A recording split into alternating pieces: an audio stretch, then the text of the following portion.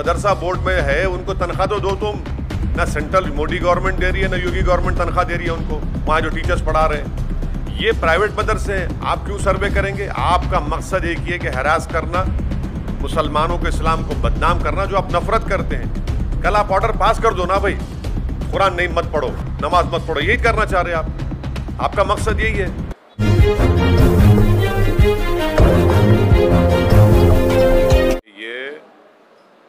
मदरसे जो है, वो मदरसा बोर्ड के तहत रिकगनाइज नहीं है। ये प्राइवेट मदरसे हैं, जिनको स्टेट गवर्नमेंट या सरकार कुछ एड नहीं देती है, ना उनकी सर्टिफिकेट रिकगनाइज करती है। तो वो अगर ख़ुद अपने मदरसे खोलकर चला रहे हैं, जैसे दारुल देवबंद है, मुबारकपुर में अशरफिया है, ऐसे कई बड़े बड़े मदरसे हैं डिफरेंट स्कूल्स ऑफ़ थॉट के प्राइवेट मदरसे हैं। जिनका ना सरकार से कुछ लेना देना है, ना सरकार उनको कुछ फंडिंग करती है। हाँ जो मदरसा बोर्ड के तरह रिकगनाइज हैं, वो सरकार से उसका ताल्लुक है गवर्नमेंट से। इससे ये क्यों सर्वे क्यों करा रहे आप? मैं अगर मदरसा खोलता हूँ तो अपने इस्लामिक तौर तरीक़े उनको सिखाने के लिए, इस्लामिक फ़िक्र सिखाने के लिए, उनको मौलाना बनाने के लिए, मुफ्ती बनाने के लिए, और स्टेट गवर्नमेंट से ताल्लुक़ ही नहीं है। और संविधान के आर्टिकल थर्टी के तहत मुझे एक फंडामेंटल राइट हासिल है कि मैं अपने मदरसे खोलूँ, अपने पसंद के एजुकेशन इंस्टीट्यूट्स खोलूँ। इसमें सरकार क्यों मुदाखलत करेगी? आप सर्वे क्यों करना चाह रहे हैं? आपको इससे लेना देना क्या है? क्या आप उनकी तनख्वाह दे रहे हैं? जो जो मदरसा बोर्ड के तहत मदरसे हैं, उनकी तनख्वाह तो आप दे नहीं रहे हैं पिछले चार साल से। ये मदरसे प्राइवेट मदरसे हैं अनएडेड मदरसे हैं और आर्टिकल थर्टी के तहत इसको कायम किया गया है। तो स्टेट गवर्नमेंट क्यों सर्वे करा रही है? आपको लेना देना क्या है? अब आप एक ऑर्डर जारी कर दीजिए ना कि अब आप आप मुसलमान मत रहिए आप कुरान मत पढ़िए नमाज़ मत पढ़िए ऑर्डर जारी कर दीजिए वही करना चाह रहे आप। ये सर्वे नहीं है बल्कि एक छोटा एनआरसी है ये।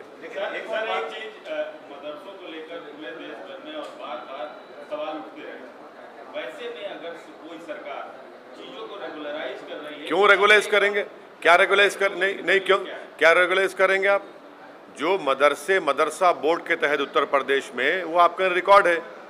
ये मदरसे से ये जो प्राइवेट मदरसे हैं जो मदरसा बोर्ड से रिकगनाइज नहीं है जो आर्टिकल थर्टी के तहत उनको राइट है आप क्यों करेंगे सर्वे उनका? आपको क्या राइट है करने का? क्यों करेंगे आप?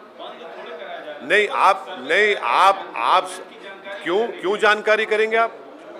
क्या आपके सामने नहीं आपके सामने मदरसे चल रहे हैं? आप क्यों शक करते हो मदरसों को? आ, आपके दिमाग में बात बैठी हुई है शक करना। आपके कल एक ऑर्डर आप सर्वे करके बोलेंगे, नहीं, यहाँ पर नमाज़ नहीं पढ़ो मदरसे में। आप करें, कहेंगे, नहीं, कुरान मत पढ़ो। अरे भाई ऑर्डर जारी कर दो ना, बोल दो तुम, सब बोल दो कि हम मुसलमान नहीं है। ये करना चाह रहे मकसद आप। आप हरास करना चाह रहे मुसलमानों को। रिकग्नाइज मदरसे की बात नहीं कर रहा हूँ।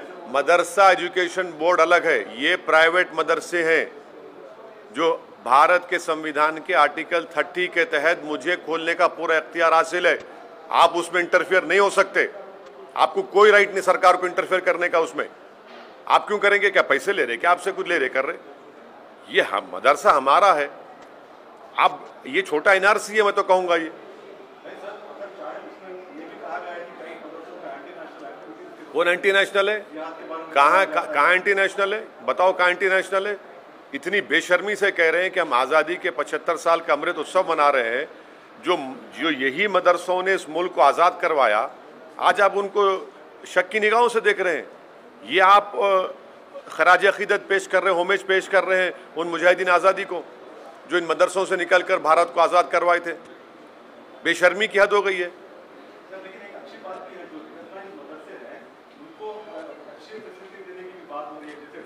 सुनिए सुनिए आपको आपको झूठ बोला जा रहा है।